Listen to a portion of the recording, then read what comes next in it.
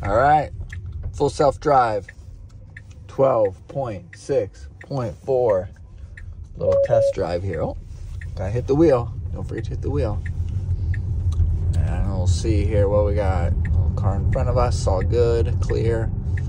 Gonna take a left turn here at a light that doesn't have a um, arrow. It just straight and left turned.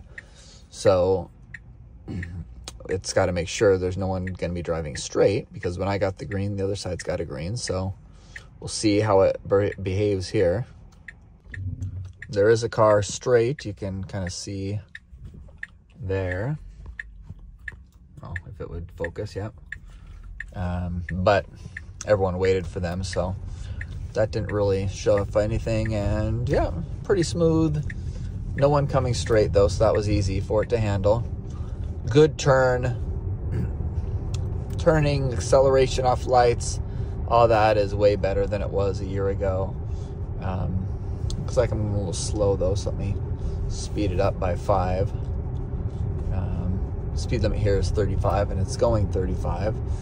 So we want to go a little more. It should actually be whatever it's set 15% over.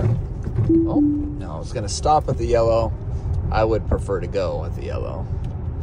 So it probably is, again, doing what's cautious and what is um, textbook, probably even more than my typical, other than with yellow lights. Turning left when you're making a, a left turn and there's oncoming traffic, it actually goes when sometimes I would um, have not went um, and I would have waited for a car that might be a little coming up or even hear it past that car and I'm getting over very soon in 0.2 miles I'm turning left but it's on hurry mode so it went over past one car came back over and again, my driving, I wouldn't have done that. I would have just stayed in this lane and kind of cruised a little slower. But it does have a pretty, if you have it in hurry mode there, it's got a pretty aggressive take.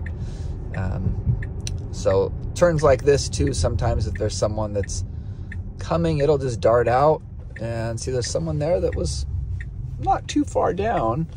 Um, I might have, may have waited, but uh, again, totally safe for it to handle. And now we're arriving at destination, but I don't think it'll park.